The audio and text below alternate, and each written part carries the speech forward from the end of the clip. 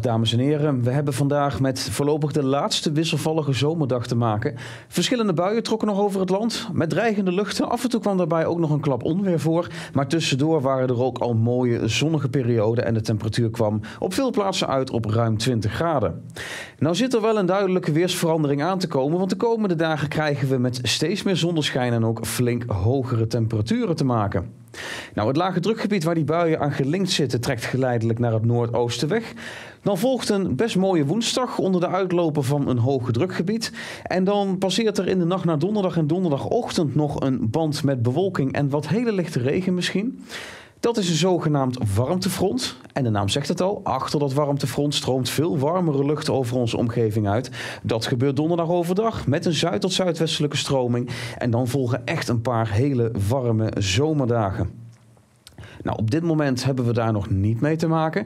Verspreid over het land vallen een paar buien en vanuit het zuidwesten nadert een wat actiever buiengebied. Nou, dat trekt gedurende de middag en begin van de avond noordoostwaarts over het land. En ook daarachter is nog wel een enkele bui mogelijk. Nou, vanmiddag en vanavond dus vooral op dat buiengebied. Soms actieve buien, lokaal met onweer, maar tussendoor is er ook ruimte voor wat zon. En de middagtemperatuur ligt rond een graad of 21. Komende nacht trekken de meeste buien dan naar het oosten weg. In het binnenland is nog wel een enkel exemplaar mogelijk. Maar tussendoor zijn er ook opklaringen en veel kouder dan 13 tot 15 graden wordt het niet. De wind draait naar het zuidwesten en neemt geleidelijk in kracht af. Zwak of matig bovenland en meest matig in de meeste kustgebieden. En morgen ziet er dan al veel beter uit met flinke zonnige perioden. Misschien dat er in het noordoosten en langs de oostgrens in de ochtend nog een enkele lichte bui valt.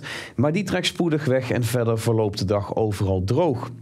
De temperatuur ligt tussen 20 en 24 graden van noord naar zuid. En dat is eigenlijk vrij normaal voor deze tijd van het jaar. Maar we krijgen dus met veel warmere lucht te maken. Dat merken we op donderdag al.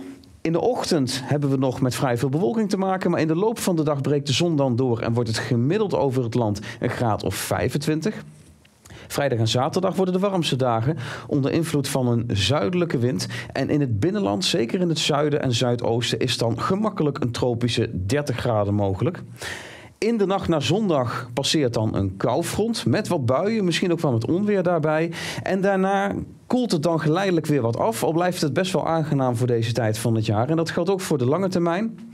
Want na die hele warme dagen eind deze week is het volgende week gemiddeld een graad of 22 à 23. En daarbij hebben we ook geregeld ruimte voor de zon. Ik wens u nog een mooie dag.